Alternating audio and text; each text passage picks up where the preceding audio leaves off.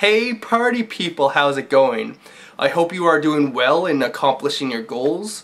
Today I have four questions that really help realize why you are doing these goals and getting into the right mindset to accomplish your goals.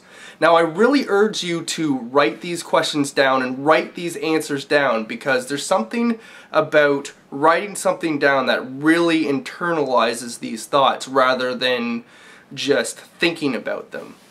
There's something about being able to see your thoughts in front of you that really internalizes these thoughts and the action you take while while thinking about them kind of really drives these thoughts home rather than just thinking about them for a few minutes and then forgetting about them.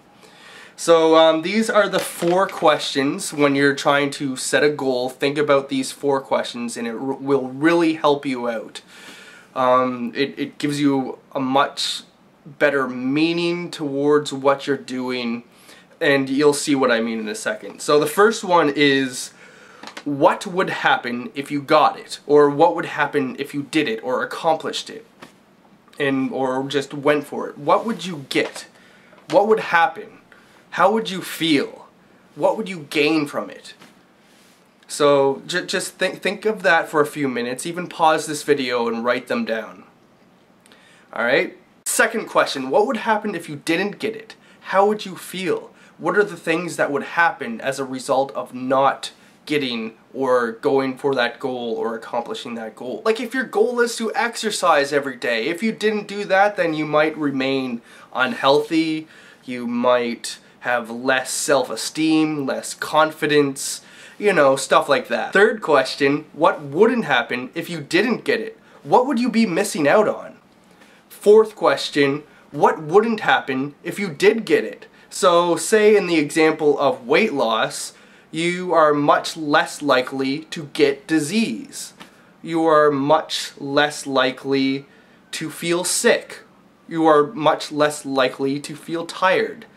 Think along the lines of this. And this could be for any goal. It doesn't have to be just weight loss goals. Think of this if you have financial goals or, I don't know, just anything.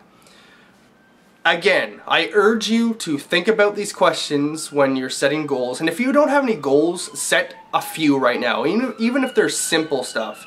If Even if it's exercise more often or or just eat better or do one thing a day that will improve your life just a little bit better and apply these questions to those goals and they will they will hit home a lot more rather than just saying I'm going to try to do this today I'm trying I'm going to try to eat better today if you answer these questions then you will be able to see exactly why, why I'm doing this in the first place. What am I going to gain by doing this? What are the bad things I'm going to eliminate my life by accomplishing these goals? And rather than just throwing that goal out there and seeing what happens, you have a more more of a purpose to follow your dreams or goals or whatever, you know. You know.